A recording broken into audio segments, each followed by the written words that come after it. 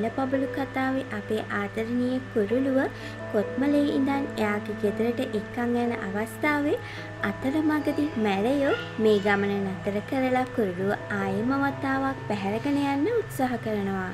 ගොඩක් දෙනෙක් හිතන්නේ නම් මේක සිහිනයක් කියලා. හැබැයි අභිමන් පූජට ගෙදරටම ගිහින් දාන්න බල කරද්දිත් පූජ අභිමන්ගෙන් බල කරලම ඉල්ලනවා එයාට මගින් බැහැලා ගෙදරට තනියම යන්න ඕනි කියලා. මේ සිදුවන දේ හීනයක් නෙමෙයි කියලා අපට හිතන්න පුළුවන් මෙන්න මේ තේ නිසා.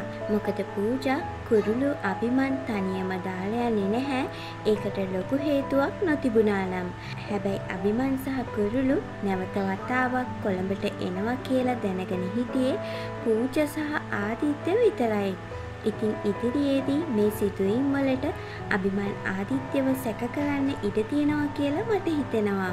ඉතින් ඔයාලට මේ ගැන හිතන්නේ මොනවද? ඔයාලට හිතන දේ සිතුවිලි සේයාට කමෙන්ට් එකකින් කියන්න. ඔයා තවමත් සිතුවිලි සේයාගේ යාළුවෙක් නෙමෙයි නම් පහළ තියෙන subscribe button එක ඔබලා සිතුවිලි සේයාගේ යාළුවෙක් වෙන්න. ඔයාලා හැමෝටම සුබම සුබ දවසක් වේවා.